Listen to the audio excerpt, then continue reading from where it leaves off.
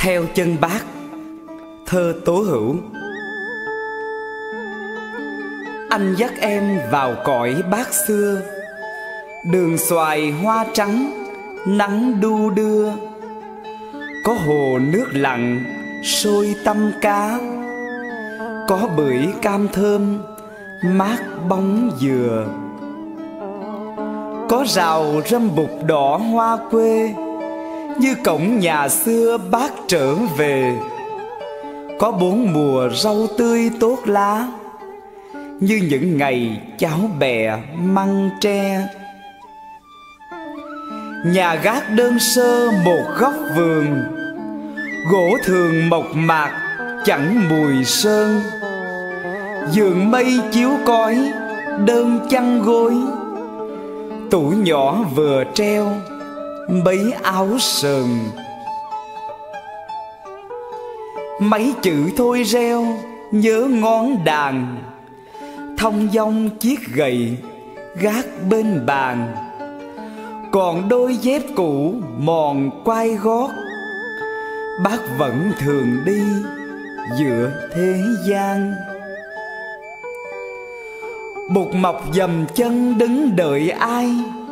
Quanh hồ thấp thoáng, bóng hôm mai. Ngọn đèn kia thức bên ai đó, Mà dạ hương còn phản phất bay. Ô, vẫn còn đây của các em, Chồng thư mới mở, Bác đang xem.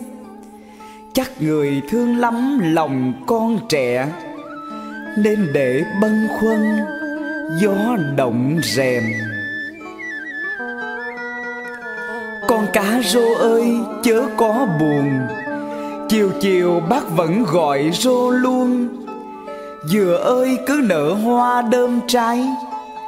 Bác vẫn chăm tay, tưới ướt bồn.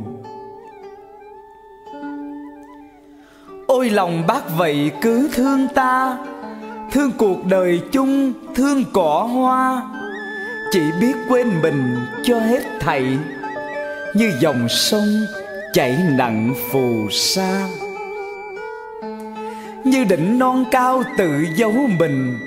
Trong rừng xanh lá ghét hư vinh. Bác mong con cháu mau khôn lớn. Nối gót ông cha bước kịp mình. Ta vào thăm bác gặp Lenin Trắng rộng yêu thương giỏi mắt nhìn. Người đến cùng ta, ngồi với bác. Như hình với bóng, một anh linh.